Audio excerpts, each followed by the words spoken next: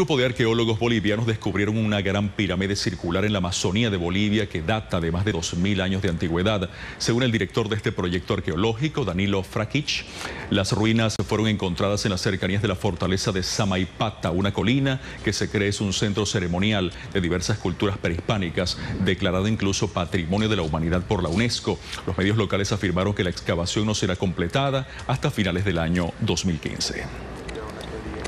Ah,